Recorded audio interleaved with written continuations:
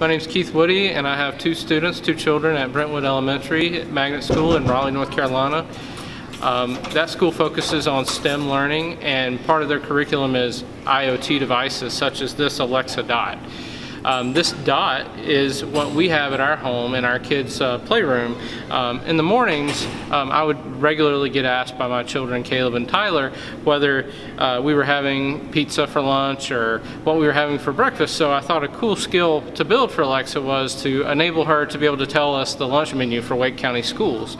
So Alexa, open Brentwood Elementary. Welcome to Brentwood Elementary. How may I help you? When are we to have pizza again? So I developed an app with them and they helped me design what how we are going to ask the questions and what all she could do. Um, and also help me type in the menus. They're seven years old, so programming is not quite their strong suit yet, but we're, uh, we focused on spelling the words and uh, reading the words and helping me type them in to the database that is uh, enabling the skill so that we can deliver the lunch menu, breakfast menu, or um, actually be able to ask when we're going to have pizza again, because kids like to know, you know, when their favorite food is the next time. Through the WakeEd partnership, we got an innovation grant to get uh, Internet of Things um, items like Echo Dots and Smart Home Little Bits uh, robotics pieces.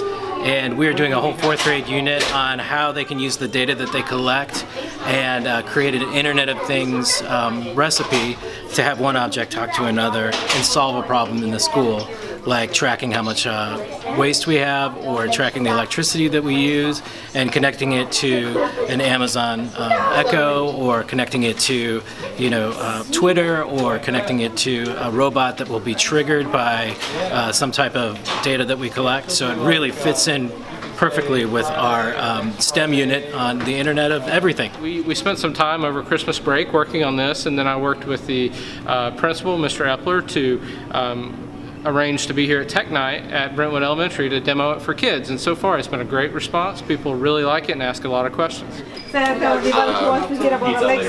Yeah, so we wrote a skill that allows us to ask what's for lunch today or what's for breakfast.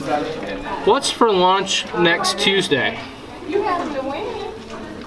On Tuesday, May 8th, 2018, the cafeteria will serve chicken and mini waffles, hamburger, cheeseburger, baked tater tots, savory green beans, diced pears, assorted fresh fruit.